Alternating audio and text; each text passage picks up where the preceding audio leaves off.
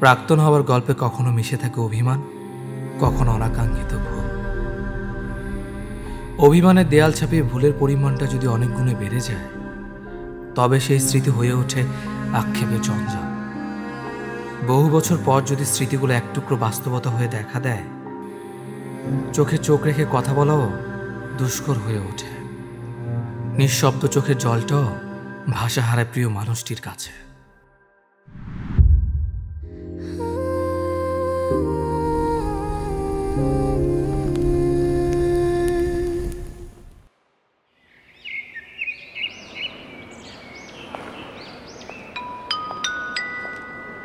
সম্মানিত যাত্রীবৃন্দ platform number দুই থেকে কিছুক্ষণের মধ্যেই চট্টগ্রাম এক্সপ্রেস ছেড়ে যাবে। দয়া করে আপনারা আপনাদের আসনটি গ্রহণ করুন। ধন্যবাদ।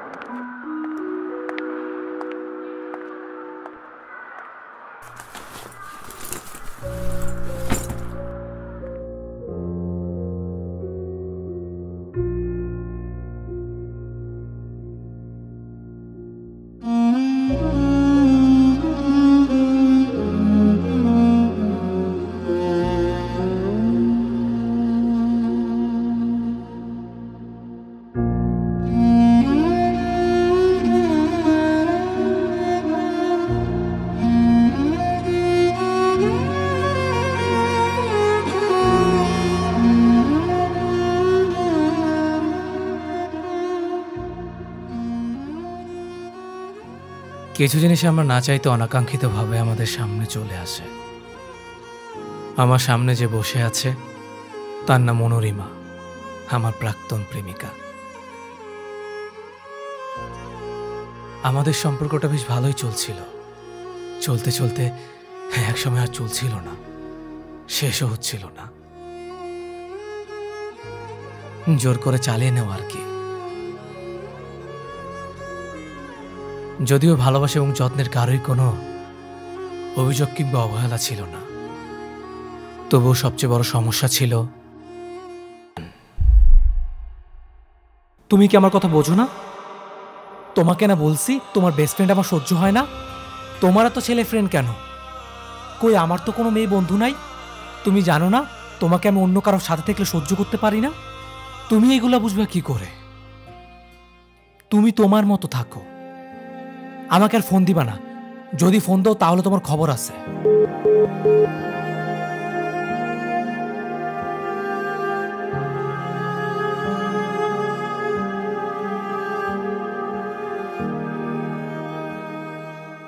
সম্পর্কের শুরুতে যেসব ইনম্যাচুর অ্যাটিটিউডের ভেতর ফ্যান্টাসি কাজ করে, সম্পর্কের শেষের দিকে সেসবই অসহ্য লাগতে শুরু করে।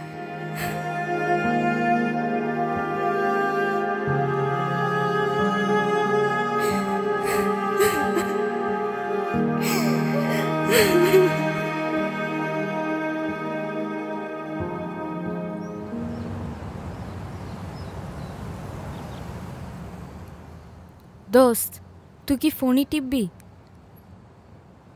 তোর সাথে আমার ইম্পর্টেন্ট কথা ছিল। তুই তো কিছু বলতেছিস না। বল এখন।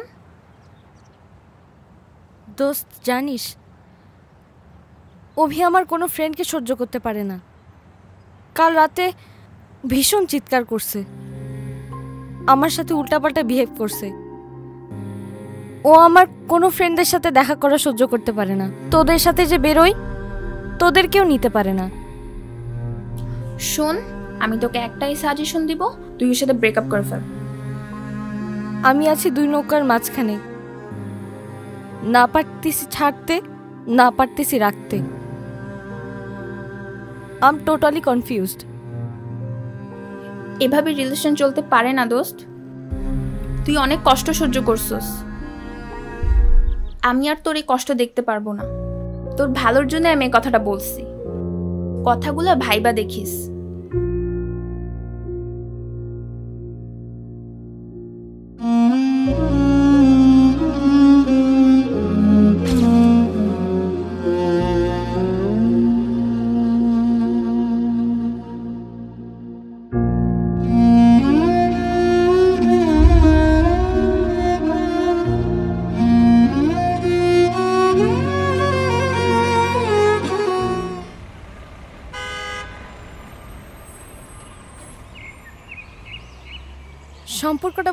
এভাবে আর বেশি দূর টিকিয়ে নিয়ে যাওয়া সম্ভব না।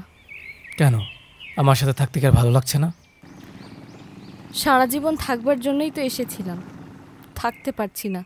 দম বন্ধ হয়ে আসছে। হঠাৎ এত তোমার দম বন্ধ কেন লাগছে?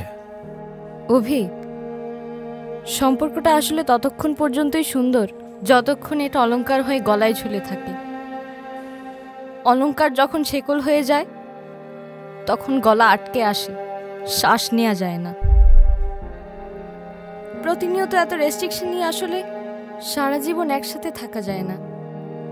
দুজন মানুষ যদি দুজনের চোখের আড়ালেও একজন অন্যজনের প্রতি লয়াল না হয়, তাহলে সেই সম্পর্ক বেশি দূর টেনে নিয়ে যাওয়া সম্ভব না। দম বন্ধ তো আমারও লাগে। রোজ রোজ একই কথা বলছি। খাইছি কিনা, ঘুমাইছি কিনা, ভালোবাসা ভালোবাসা, একই পাগলের মতো প্রলাপ।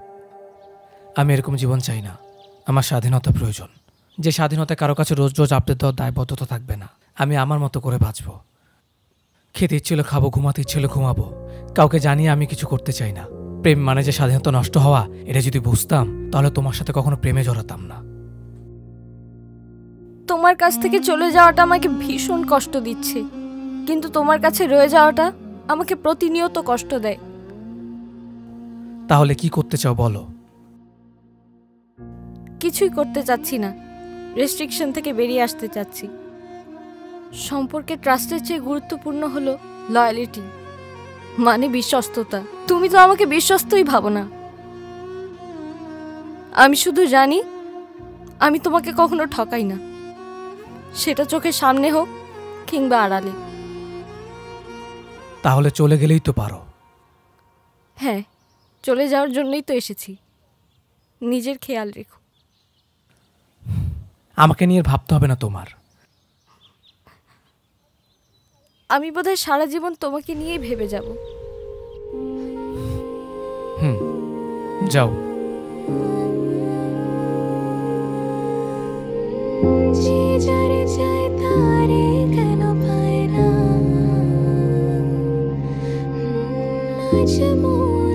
কেন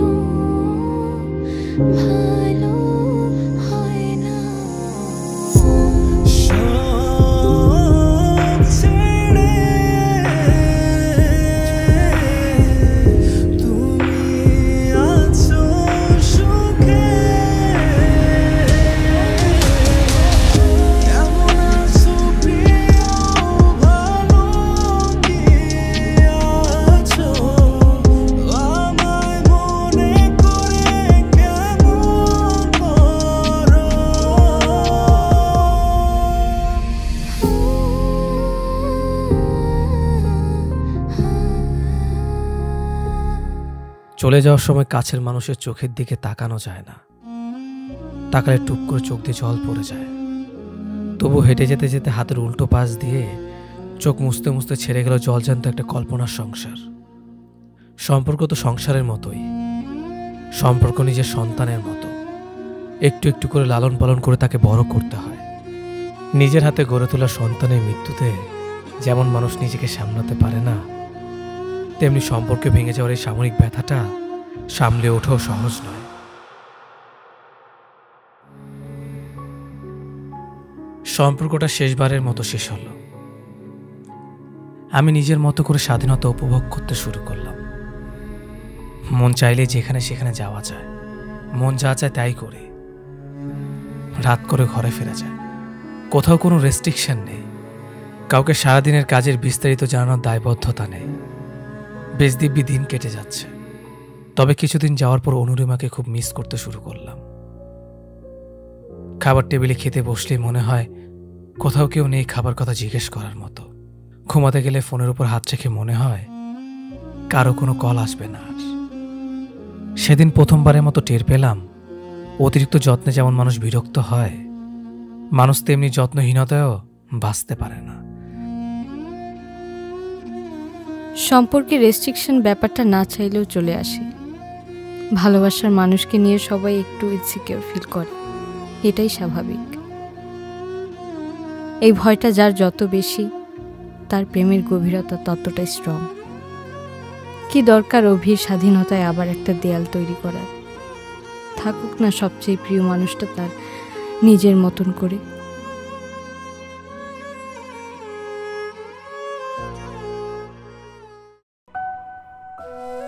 অনুরিমা তো রেস্ট্রিকশনগুলো নিতে পারছে না। তার তো দম বন্ধ হয়ে আসছে সম্পর্কে। একসময় প্রেমের অলংকার শেকল হয়ে আটকে গেছে। থাকুক না হয় মুক্ত হয়ে। নিজের মতো করে বাঁচুক। যোগাযোগহীনতায় স্মৃতির ওপর ধুলো জমে গেছে।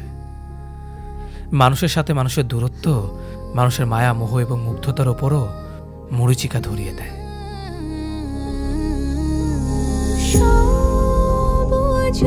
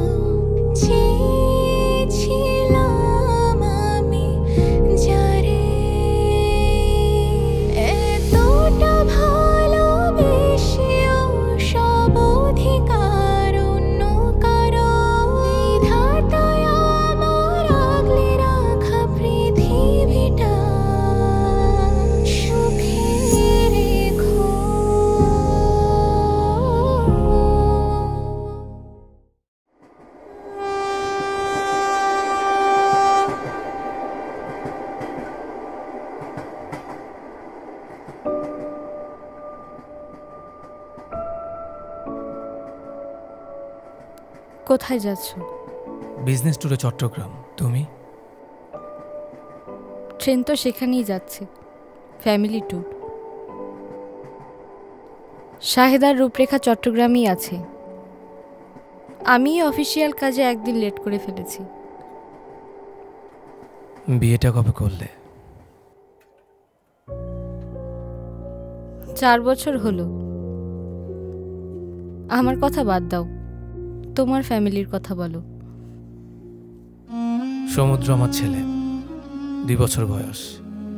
আর শ্রাবণী আপাতত হাউস ওয়াইফ হিসেবে আছে। জব টপ কিছু করছে না। সংসার জীবন কেমন কাটছে? স্বাধীনতা ব্যাপারটা আছে এখনও? মানুষের জীবনে স্বাধীনতা বলতে কিছু থাকে না। এটা পরাধীনতাও নয়। এটাকে আসলে যত্ন বলা যায়। একটু যত্নকে পরাধীনতা ভাবলে সম্পর্কটাকে বেশি দূর টেনে নেওয়া যায় না। এত দিন পর। বুঝতে পেরেছ? হ্যাঁ খুবই। তোমার সংসার কেমন চলছে? বেশ। আমাদের স্মৃতি কখনো দেয়াল তুলে দেয় না? না। সংসারটাকে ভালো না বাসলে মানুষ আসলে কারাগারে থাকা আসামির মতো জীবন কাটাবে। সংসারটাকে ভালোবাসতে হয়। ভালোবাসার পরে আবার নতুন করে ভালোবাসা যায় কাউকে? যায় তো। আমি তো বাসছি। মানুষ মূলত অভ্যাসকে ভালোবাসে সংসারকে ভালোবাসে। একই সঙ্গে পাশাপাশি বালিশে ঘুমাতে ঘুমাতে পাশের চেয়ারে বসে খাবার খেতে খেতে সারাদিন একই মানুষকে দেখতে দেখতে অভ্যস্ত হয়ে যায়। এই অভ্যাস থেকে মানুষের মায়া বাড়ে। আর পৃথিবীর সমস্ত মায়াই একটা মানুষকে আটকে রাখার জন্য যথেষ্ট। আমি যতটা মানুষটাকে ভালোবাসি, তার থেকে বেশি ভালোবাসি আমার ঘরের দেয়াল, আমার রূপরেখার মুখ, ঘরের আসবাবপত্র, ঘরের বারান্দা। বারান্দায় লাগানো গোলাপ গাছকে। মানুষ শুধু একটা মানুষকে ভালোবেসে সংসার করতে পারে না। সংসার করতে হয় সমস্ত কিছুকে ভালোবেসে। খুবই ম্যাচুর হয়ে গেছো। হয়ে যেতে হয়। সময় মানুষকে পুরাতন স্মৃতির ট্রমা থেকে একটা সময় বের করেই আনে। নতুন করে বাঁচতে শেখায়। সংসারে পুরাতন কিছুকে জায়গা করে দিলে সেখানে নতুন জীবন শুরু করা যায় না। এখন আর সেখানে রেস্ট্রিকশন নেই। আছে তো।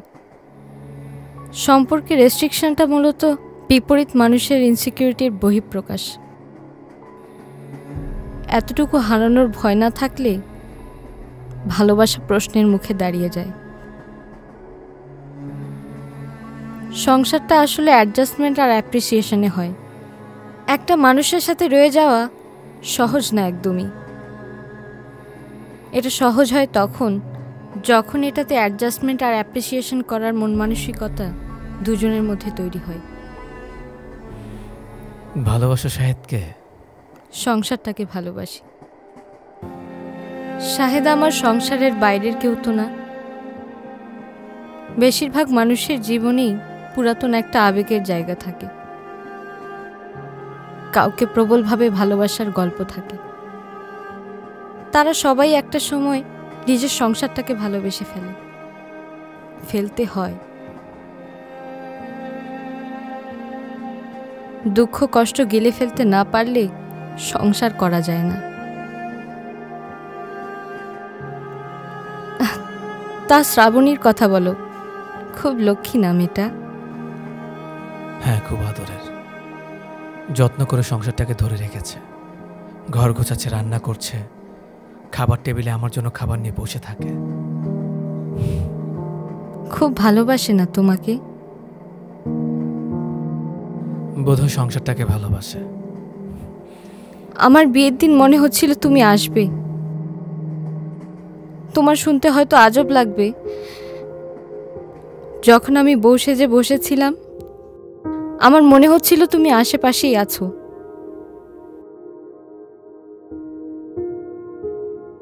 কিন্তু আমি এতটাই বোকা যে মানুষটার আমার সাথে থাকতে দম বন্ধ লাগে, সে মানুষটা কীভাবে আসবে?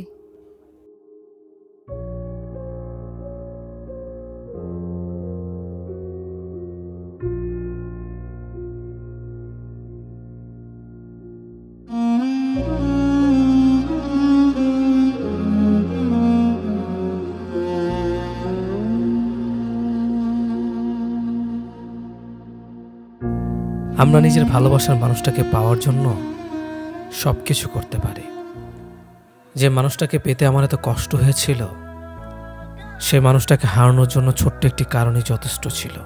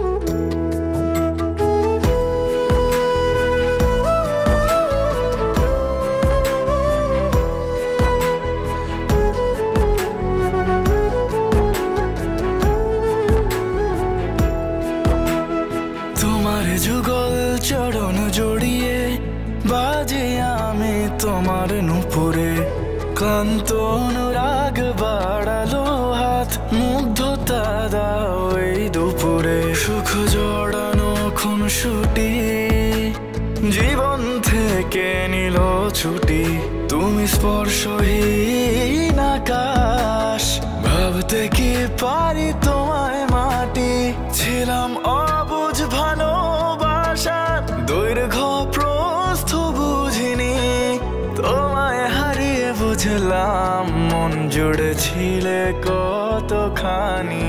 জীবন রে আমি পূর্ণতার মাঝে পাইরে শূন্যতা ছিল না তো। একে অপরকে ছেড়ে থাকার কথা। জীবন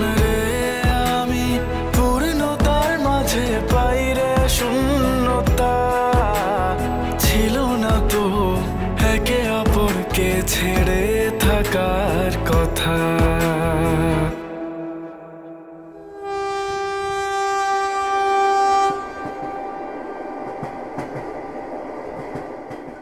তোমাকে শাড়িতে অনেক সুন্দর লাগছে।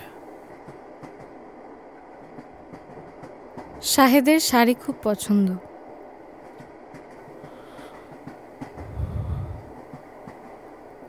এর আগে শেষবারের মতো শাড়ি পরে দেখেছিলাম তোমার বিয়েতে। তুমি লাল রঙের একটা শাড়ি পরেছিলে। তুমি যেটা অনুভব করেছিলাম, তোমার বিয়েতে এসেছিলাম। আমি সেখানে একটা ভিড়ের মধ্যে দাঁড়িয়েছিলাম।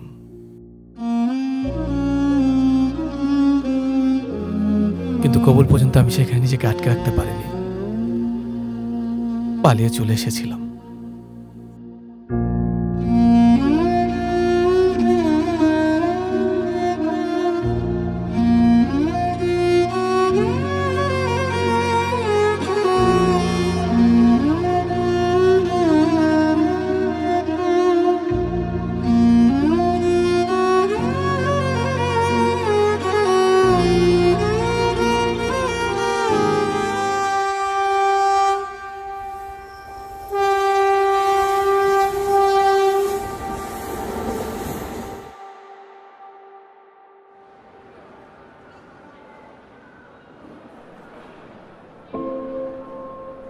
আজ আসি আটকানোর ক্ষমতা তো আমার নেই।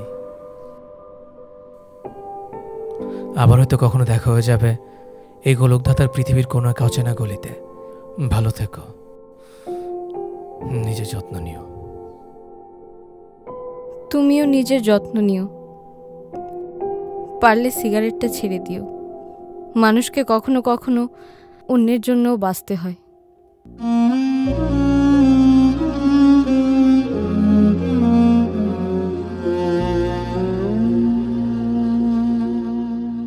সম্পর্কটা ভেঙে গেছে দুজনের। কিন্তু ভালোবাসাটা রয়ে গেছে এখনও। আমার এই জন্মে আমি তোমাকে পেলাম না আমার করে। যদি কখনো তোমাকে চাইবার সুযোগ আসে, আমি আমার সৃষ্টিকর্তার কাছে তোমাকেই চাইব।